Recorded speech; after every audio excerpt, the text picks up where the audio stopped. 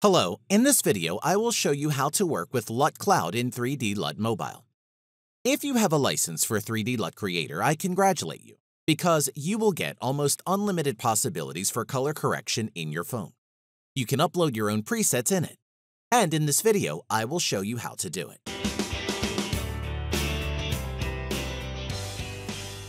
To set the connection between 3D LUT Creator and 3D LUT Mobile and get the ability to upload your own LUTs, you will need to log in to LUT Cloud in both programs. I'll start with 3D LUT Creator. I open Preferences. On Integration tab, you will need to enter a password for a personal account. Done. Now in 3D LUT Mobile, you need to open Preferences and click Login.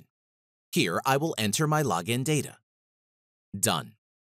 So what does such integration do for me? Firstly, I can send photos from the application to 3D LUT Creator. I have a few photos from the night shooting, and now I'll make my own preset for them. I'm opening the photo in the app, clicking checkmark at the top and selecting Send to 3D LUT Creator Desktop. Now in 3D LUT Creator, in the File menu, I select Import, Import Image from 3D LUT Mobile. See, the photo from the phone has opened on the computer. Of course, both devices must have internet access. You can view LUTs from the cloud through Look Manager in 3D LUT Creator by clicking on the globe icon. Here are the LUTs from 3D LUT Mobile app. All LUTs which I create for personal use will appear in My LUTs folder. It is empty now, let's add something here. For this photo, I will make color harmony of blue and red. To do this, I reduce color temperature to get blue. Then I move the tint slider to get red. I will go into the channel mixer and pull the blue and red points apart to further strengthen the separation of colors. I move the Darken slider to the left to exclude the effect on colors that have become darker. I will reduce the saturation threshold in case some channel may get clipped. I recommend watching my lesson about Channel Mixer for those who have questions about it. On the Curves tab with the Red Channel Curve, I'll remove the red color from shadows. I'll set the black point and adjust the contrast with the help of the Master Curve. Using Sat Luma Curve, I will increase the saturation in the shadows and decrease it in the highlights. I will try to make the jacket neutral. To do so, I reduce saturation of unsaturated colors on the Sat Sat curve. To improve the result, I changed the color model to LAB. The skin became pale, so in the channel mixer, I will add red. On the AB grid, I will make the skin redder and more saturated. This is before, this is after. I upload this preset into the cloud. On the File menu, I select Export, Submit LUT to Online LUT Storage.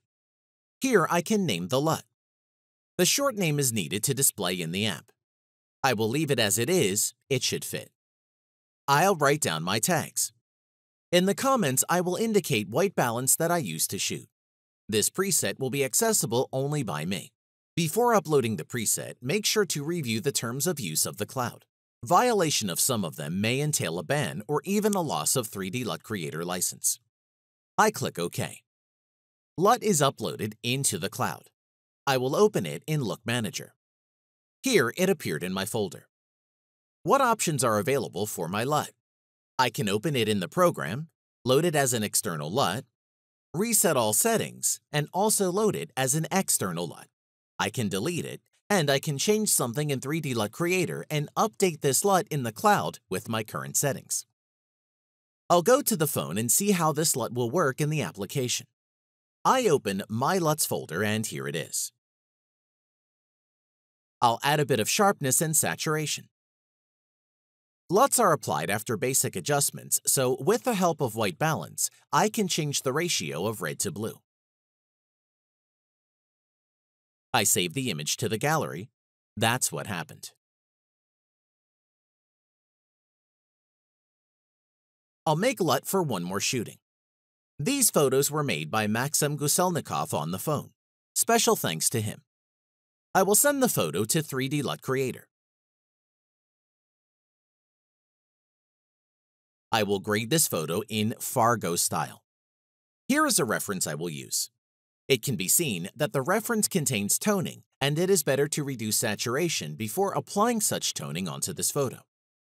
Now, on the Curves tab, I extract the curves from the reference and apply them to my photo. I smooth them out a bit. On Master Curve, I set black and white points and adjust contrast. The photo already looks good. On the grid, I'm going to increase the color variability by raising the saturation of blue. I'll change the green color to darker and colder.